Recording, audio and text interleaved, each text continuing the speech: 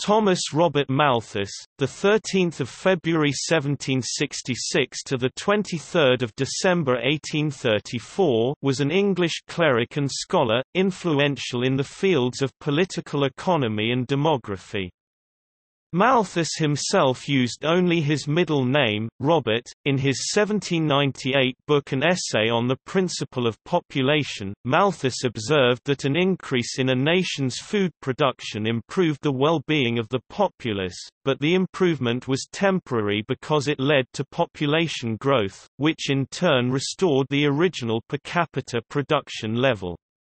In other words, mankind had a propensity to utilize abundance for population growth rather than for maintaining a high standard of living, a view that has become known as the Malthusian trap, or the Malthusian spectre.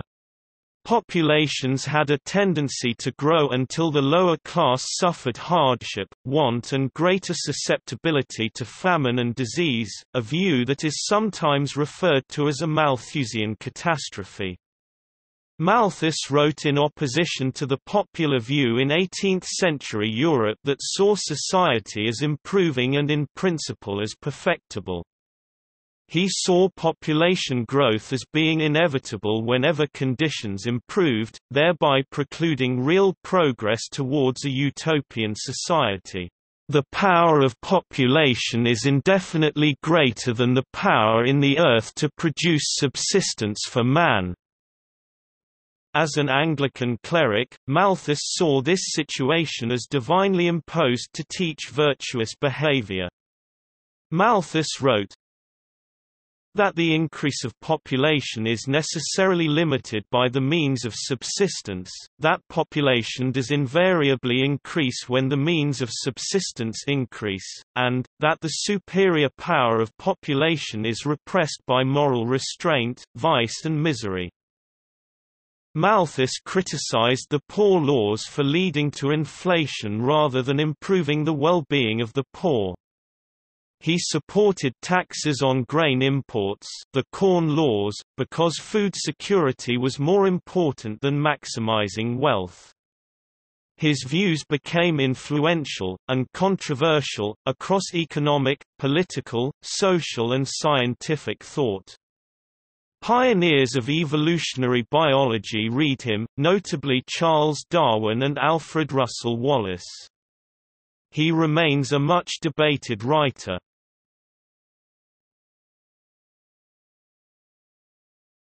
Topic: Early life and education.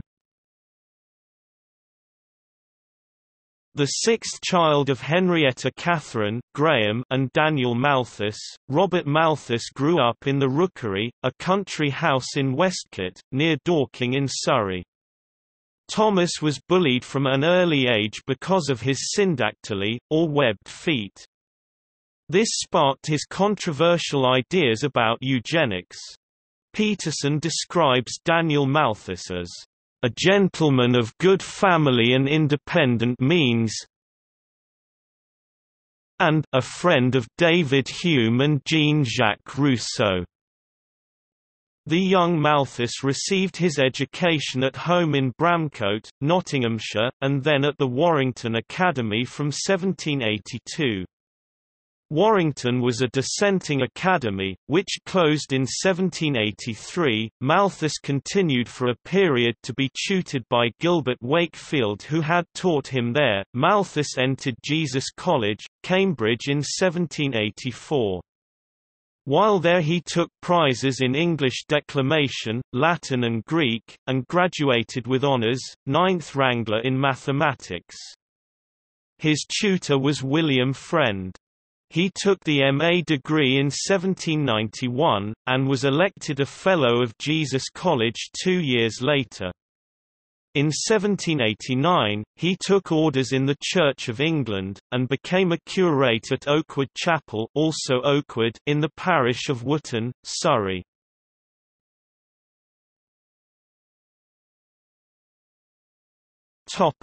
Population growth Malthus came to prominence for his 1798 essay on population growth. In it, he argued that population multiplies geometrically and food arithmetically, therefore, whenever the food supply increases, population will rapidly grow to eliminate the abundance. Between 1798 and 1826 he published six editions of an essay on the principle of population, updating each edition to incorporate new material, to address criticism, and to convey changes in his own perspectives on the subject. He wrote the original text in reaction to the optimism of his father and his father's associates notably Rousseau regarding the future improvement of society. Malthus also constructed his case as a specific response to writings of William Godwin (1756–1836) and of the Marquis de Condorcet (1743–1794). The essay gave rise to the Malthusian controversy during the next decades. The content saw an emphasis on the birth rate and marriage rates. The Neo-Malthusian controversy, or related debates of many years later, has seen a similar central role assigned to the numbers of children born. In 1799 Malthus made a European tour with William Otter, a close college friend, travelling part of the way with Edward Daniel Clarke and John Martin Cripps, visiting Germany, Scandinavia and Russia. Malthus used the trip to gather population data. Otter later wrote a memoir of Malthus for the second 1836 edition of his Principles of Political Economy. During the Peace of Amiens of 1802 he travelled to France and Switzerland, in a party that included his relation and future wife Harriet. In 1803 he became rector of Walesby, Lincolnshire.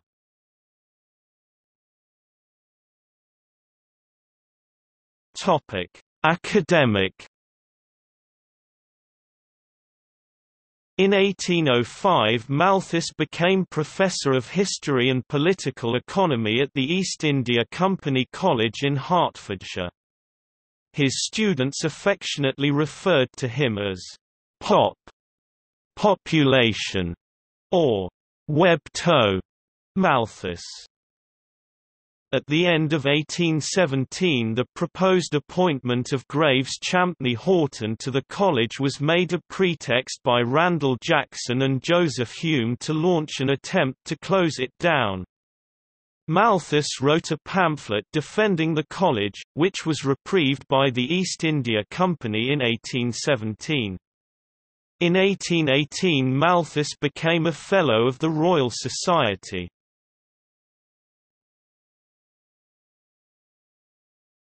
Topic: Malthus-Ricardo debate on political economy. During the 1820s there took place a set-piece intellectual discussion within the proponents of political economy, often called the Malthus-Ricardo debate.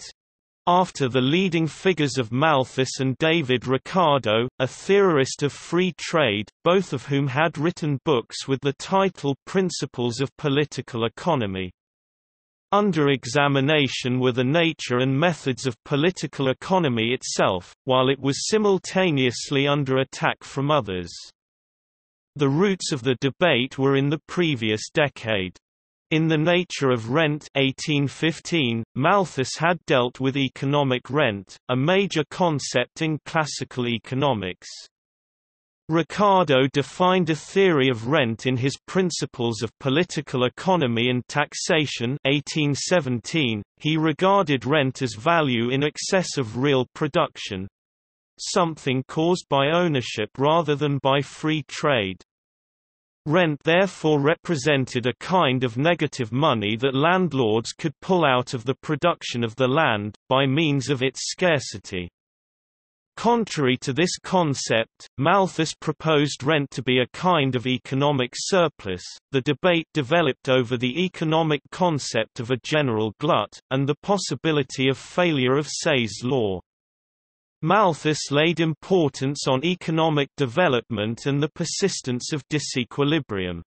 The context was the post-war depression. Malthus had a supporter in William Blake, in denying that capital accumulation saving was always good in such circumstances, and John Stuart Mill attacked Blake on the fringes of the debate. Ricardo corresponded with Malthus from 1817 and his principles. He was drawn into considering political economy in a less restricted sense, which might be adapted to legislation and its multiple objectives, by the thought of Malthus. In his own work Principles of Political Economy 1820, and elsewhere, Malthus addressed the tension, amounting to conflict, he saw between a narrow view of political economy, and the broader moral and political plane. Leslie Stephen wrote, If Malthus and Ricardo differed, it was a difference of men who accepted the same first principles. They both professed to interpret Adam Smith as the true prophet, and represented different shades of opinion rather than diverging sects. After Ricardo's death in 1823, Malthus became isolated among the younger British political economists, who tended to think he had lost the debate. It is now considered that the different purposes seen by Malthus and Ricardo for political economy affected their technical discussion, and contributed to the lack of compatible definitions. For example, Jean-Baptiste Say used a definition of production based on goods and services and so queried the restriction of Malthus to goods alone. In terms of public policy, Malthus was a supporter of the protectionist corn laws from the end of the Napoleonic Wars. He emerged as the only economist of note to support duties on imported grain. He changed his mind after 1814. By encouraging domestic production, Malthus argued, the Corn Laws would guarantee British self-sufficiency in food.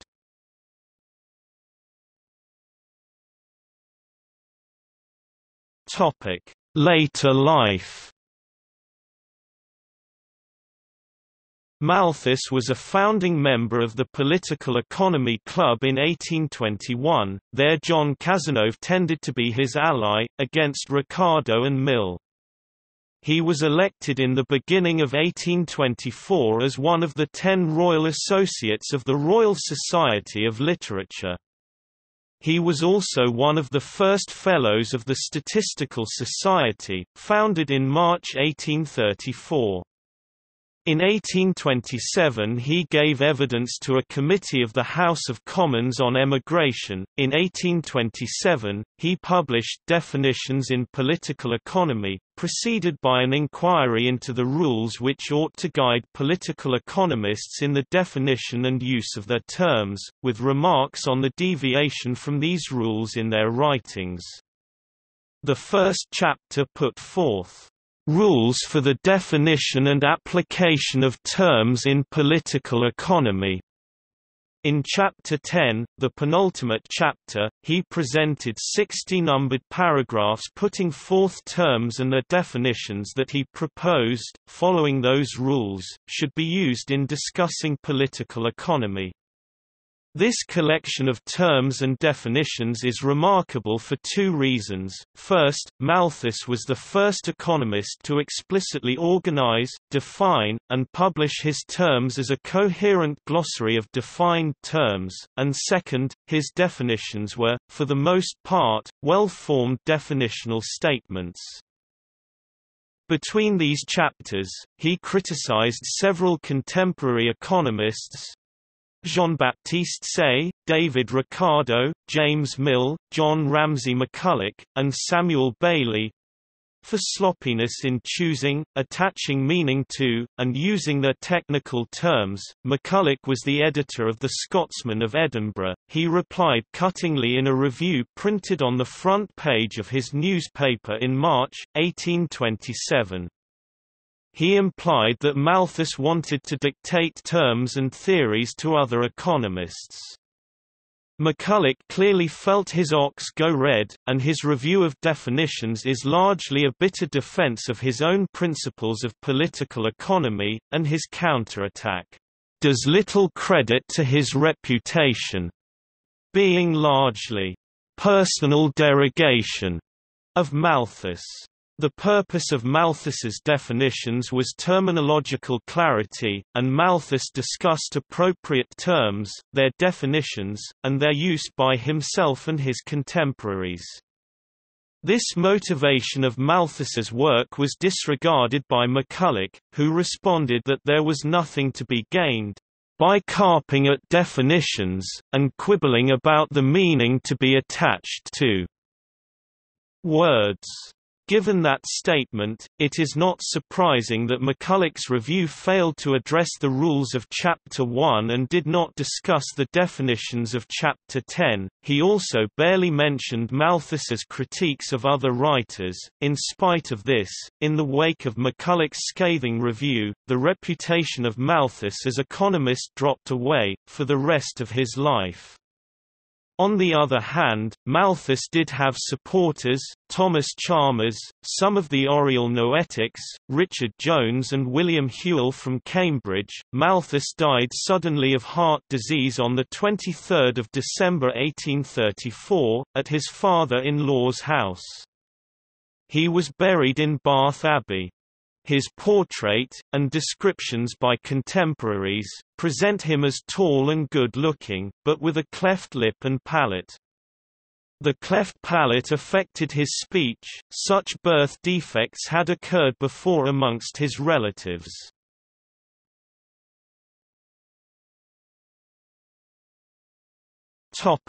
Family On 13 March 1804, Malthus married Harriet, daughter of John Eckersall of Claverton House, near Bath. They had a son and two daughters. His firstborn, son Henry, became Vicar of Effingham, Surrey, in 1835, and of Donnington, Sussex, in 1837. He married Sophia Otter (1807–1889), daughter of Bishop William Otter, and died in August 1882, aged 76. His middle child, Emily, died in 1885, outliving her parents and siblings. The youngest, Lucille, died unmarried and childless in 1825, months before her 18th birthday.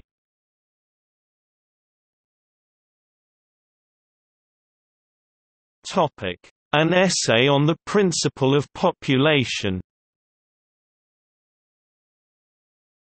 Malthus argued in his essay 1798 that population growth generally expanded in times and in regions of plenty until the size of the population relative to the primary resources caused distress. Yet in all societies, even those that are most vicious, the tendency to a virtuous attachment i.e., marriage is so strong that there is a constant effort towards an increase of population. This constant effort as constantly tends to subject the lower classes of the society to distress and to prevent any great permanent amelioration of their condition. Malthus argued that two types of checks hold population within resource limits, positive checks, which raise the death rate, and preventive ones, which lower the birth rate. The positive checks include hunger, disease and war, the preventive checks, birth control, postponement of marriage and celibacy. The rapid increase in the global population of the past century exemplifies Malthus's predicted population patterns. It also appears to describe socio-demographic dynamics of complex pre-industrial societies. These findings are the basis for neo-Malthusian modern mathematical models of long-term historical dynamics. Malthus wrote that in a period of resource abundance, a population could double in 25 years.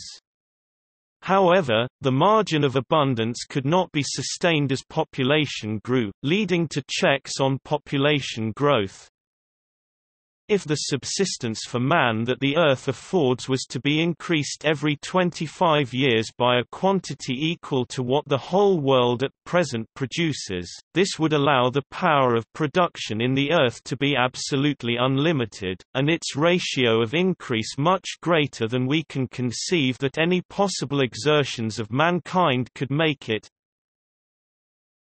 Yet still the power of population being a power of a superior order, the increase of the human species can only be kept commensurate to the increase of the means of subsistence by the constant operation of the strong law of necessity acting as a check upon the greater power. In later editions of his essay, Malthus clarified his view that if society relied on human misery to limit population growth, then sources of misery e.g., hunger, disease, and war would inevitably afflict society, as would volatile economic cycles. On the other hand, preventive checks to population that limited birth rates, such as later marriages, could ensure a higher standard of living for all, while also increasing economic stability. Regarding possibilities for freeing man from these limits, Malthus argued against a variety of imaginable solutions, such as the notion that agricultural improvements could expand without limit. Of the relationship between population and economics, Malthus wrote that when the population of laborers grows faster than the production of food, real wages fall because the growing population causes the cost of living i.e., the cost of food to go up. Difficulties of raising a family eventually reduce the rate of population growth, until the falling population again leads to higher real wages. In the second and subsequent editions Malthus put more emphasis on moral restraint as the best means of easing the poverty of the lower classes.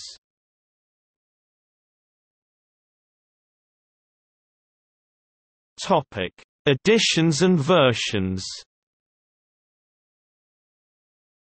1798, an essay on the principle of population, as it affects the future improvement of society with remarks on the speculations of Mr. Godwin, M. Condorcet, and other writers. Anonymously published. 1803, second and much enlarged edition, an essay on the principle of population, or, a view of its past and present effects on human happiness, with an inquiry into our prospects respecting the future removal or mitigation of the evils which it occasions. Authorship acknowledged 1806, 1807, 1816 and 1826, editions 3 to 6, with relatively minor changes from the second edition.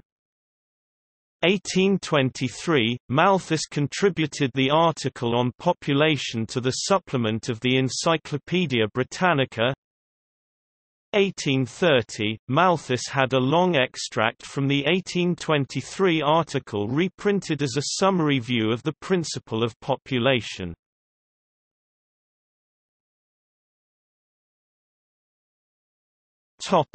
Other works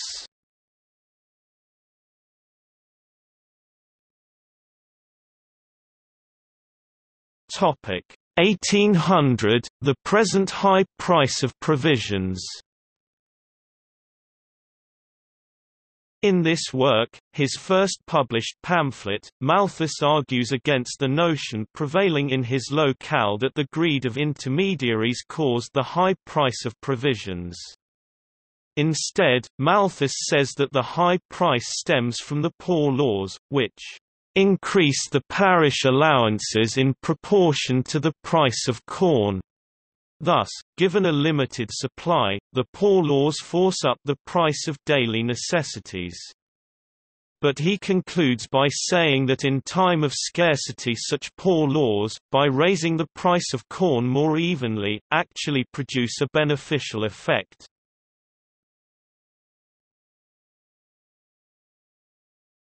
Topic 1814 – Observations on the effects of the Corn Laws Although government in Britain had regulated the prices of grain, the Corn Laws originated in 1815. At the end of the Napoleonic Wars that year, Parliament passed legislation banning the importation of foreign corn into Britain until domestic corn cost 80 shillings per quarter. The high price caused the cost of food to increase and caused distress among the working classes in the towns. It led to serious rioting in London and to the Peterloo massacre in Manchester in 1819. In this pamphlet, printed during the parliamentary discussion, Malthus tentatively supported the free traders. He argued that given the increasing cost of growing British corn, advantages accrued from supplementing it from cheaper foreign sources.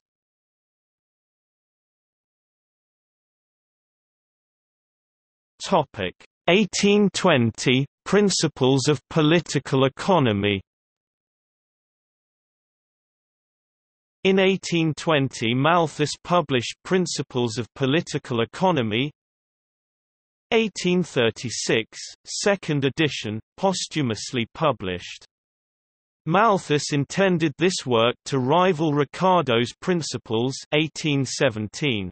It, and his 1827 definitions in political economy, defended Sismondi's views on «general glut» rather than Say's law, which in effect states, «there can be no general glut».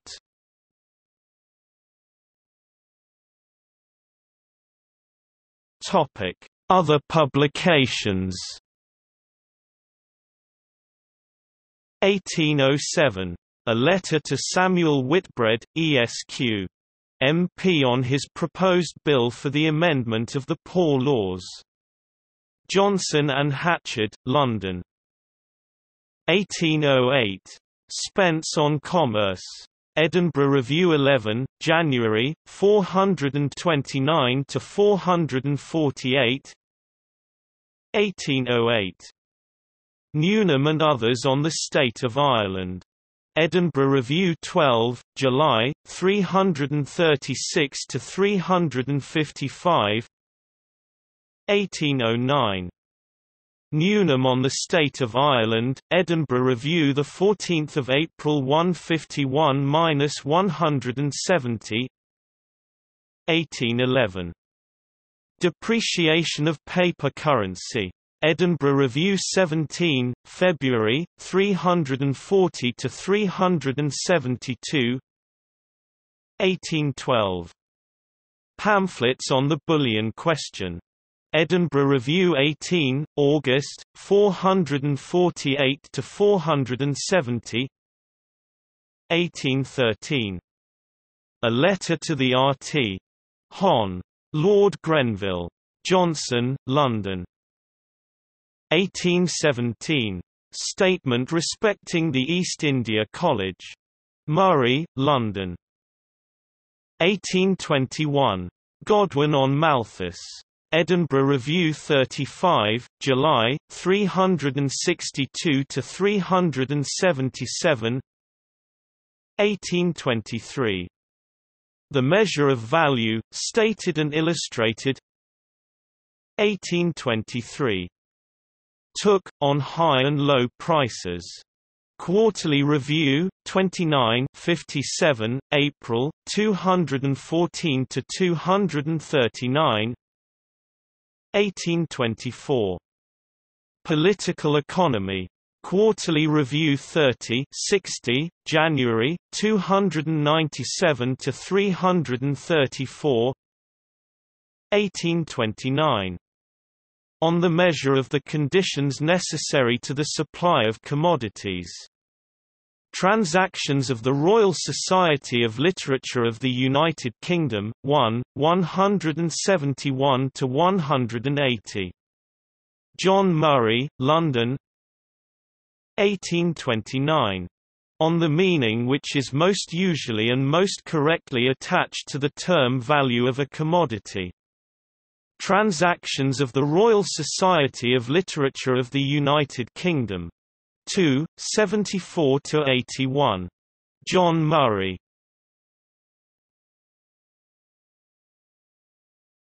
Topic: Reception and influence. Malthus developed the theory of demand-supply mismatches that he called gluts.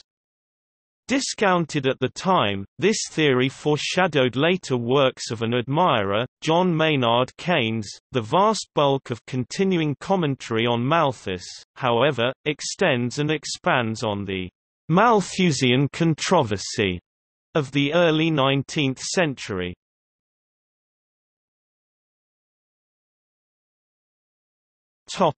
In popular culture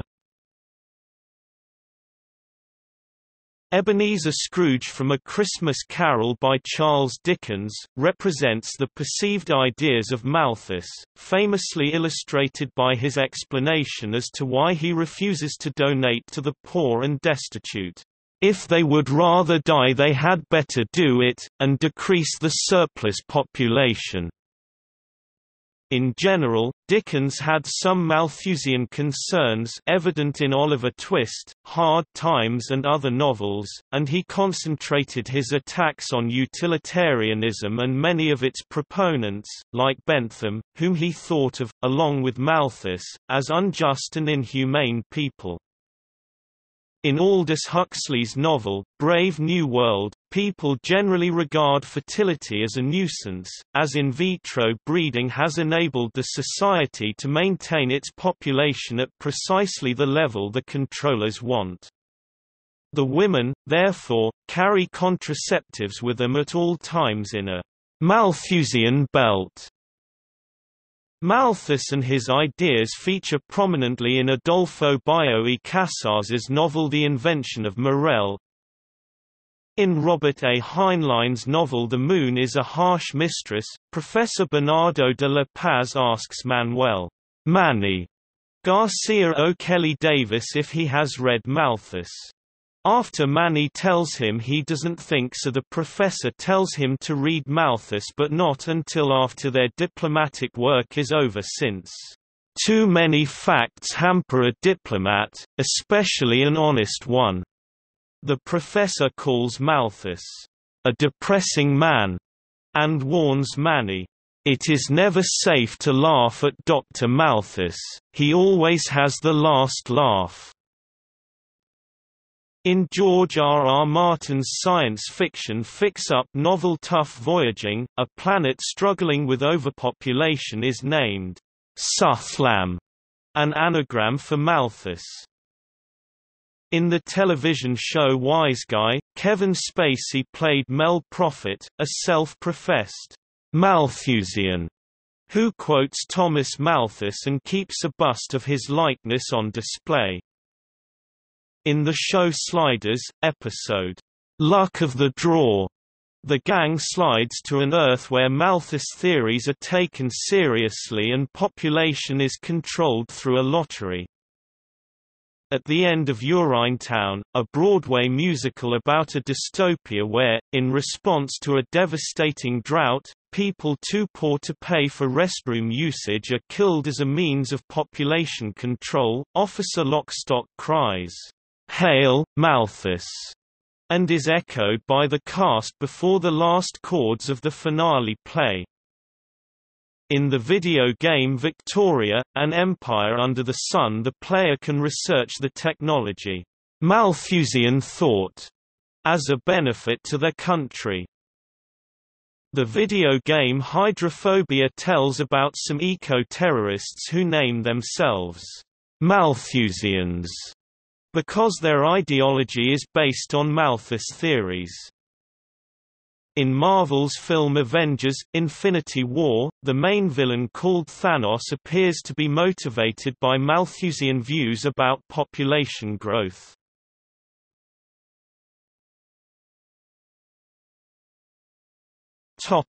Epitaph The epitaph of Malthus in Bath Abbey reads with commas inserted for clarity, Sacred to the memory of the Rev. Thomas Robert Malthus, long known to the lettered world by his admirable writings on the social branches of political economy, particularly by his essay on population. One of the best men and truest philosophers of any age or country, raised by native dignity of mind above the misrepresentation of the ignorant and the neglect of the great, he lived a serene and happy life devoted to the pursuit and communication of truth, supported by a calm but firm conviction of the usefulness of his labors, content with the approbation of the wise and good. His writings will be a lasting monument of the extent and correctness of his understanding. The spotless integrity of his principles, the equity and candor of his nature, his sweetness of temper, urbanity of manners and tenderness of heart, his benevolence and his piety are still dearer recollections of his family and friends. Born February 14, 1766 died 29 December 1834.